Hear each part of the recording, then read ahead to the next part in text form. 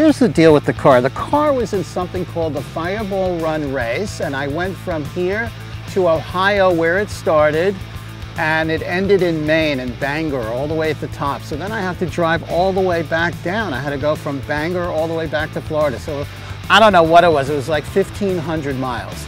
But the idea is to raise awareness for missing children. So we have a missing child on the car. And um, this was in 2012. And because it's such a good cause, and we also raised um, uh, awareness for these different towns along the way for economic development. And um, we donated to for education purposes and all sorts of things to all these different cities and towns. It was absolutely a fabulous experience.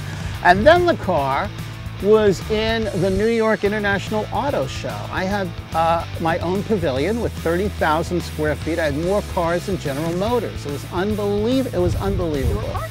My cars, yeah. Wow. Like they were transporting, Really? like dozens of cars. And you're We're off to the beach and we're very excited because we're going to do a photo shoot with you girls on the on the sand. And I have a little surprise for you girls because I have something that I want you girls to do.